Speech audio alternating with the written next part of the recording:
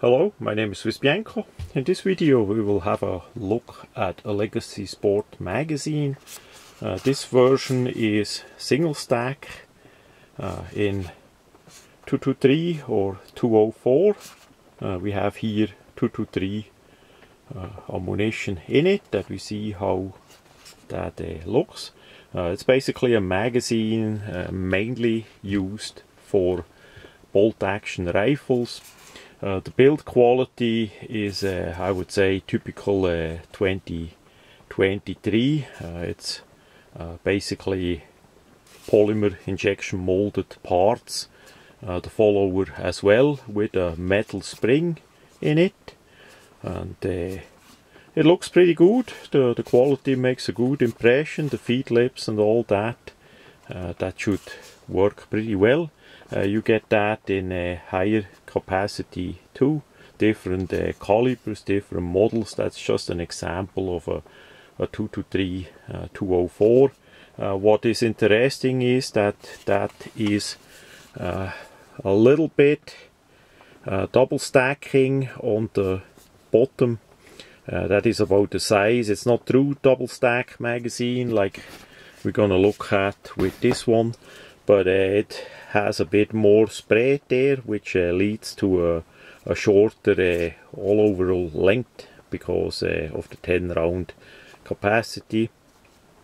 And we have of course just a single feed that is important for most bolt action rifles.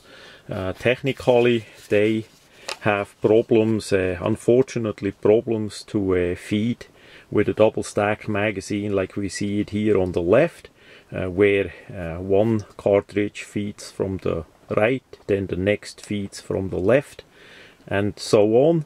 Uh, so the the single the this magazine here just feeds from a single position always the same so you don't have the trouble with the bolt uh, picking up uh, left or right and you don't have the trouble with the feed ramp uh, to be in need or to be wider uh, for feeding uh, from the right and the left side. So it all goes straight in, basically like that always was by bolt action rifle that you by usual constructions, usual designs that you have uh, just a, a feeding uh, from one side and finish. Uh, especially by civilian hunting rifles and all that.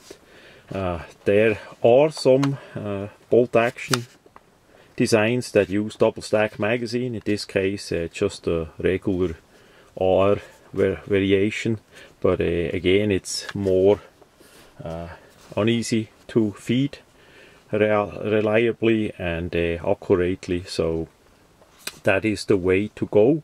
Unfortunately such magazines are not that common uh, at least not outside uh, the USA and uh, there are not that many companies that make this style of, of magazine so that you could uh, select more different options. Uh, say if you would not like to have a polymer feed lip design that you could get a, a design with a metal feed lip and all that.